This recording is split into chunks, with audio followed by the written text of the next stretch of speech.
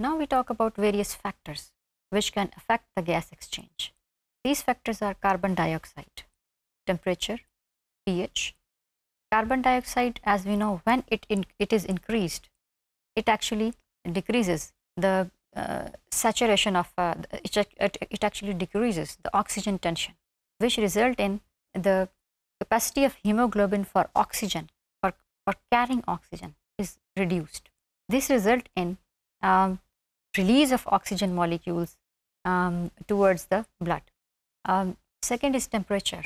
Temperature, uh, if, if it is increased, that is rise in temperature, decreases the oxygen carrying capacity of the hemoglobin. So, if temperature is um, increased, then oxygen carrying capacity of hemoglobin is decreased and hemoglobin will release oxygen. And we know that the airways are sending a moist and warm air inside the lungs.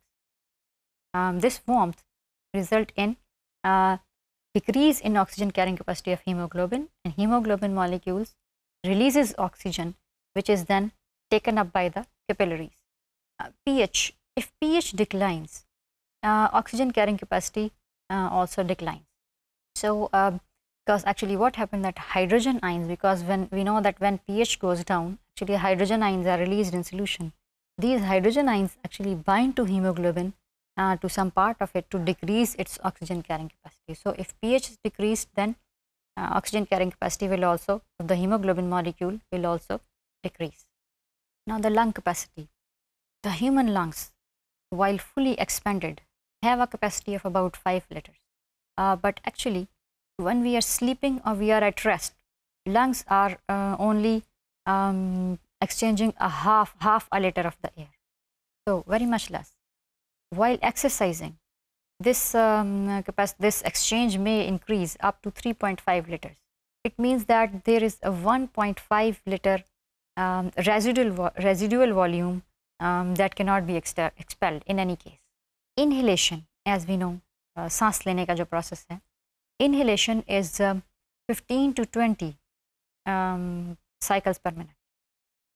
If we are exercising, this may increase up to 30 cycles per minute. That is, we breathe rather than 15 to 20 times per minute, we breathe for 30 times per minute.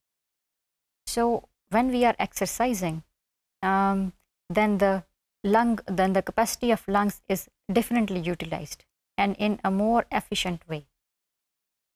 So, this is about the lung capacities. Now changes in the composition of the uh, breathe, breathed air. When we breathe air in and then this is expelled out, what is the difference? Um, this air actually, in, we are talking about the difference of inhaled air and the exhaled air so that we can find out that what is the difference in the percent saturation. Air when it is entering inside the lungs is 21% saturated with oxygen. When it goes out, it is 16% saturated. So there is a 4% decrease. Uh, carbon dioxide is 0.04% uh, saturated in the air. Uh, but when air goes out, this is 4% saturated with carbon dioxide. Nitrogen, as we know, has nothing to do with the respiration. When air comes in, it is saturated by uh, nitrogen by 79% and when it goes out, that is exhaled air, also have 79% saturation. The water vapors, these are variable initially when they enter inside the uh, lungs. That is in inhaled air, they are variable.